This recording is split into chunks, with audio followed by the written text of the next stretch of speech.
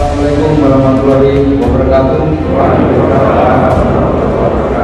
Salam sejahtera untuk kita semua.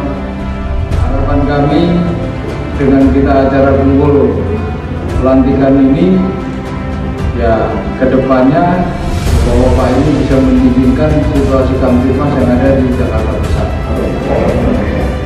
Kondisi COVID sekarang ini masih berjalan, virus masih ada di mana-mana,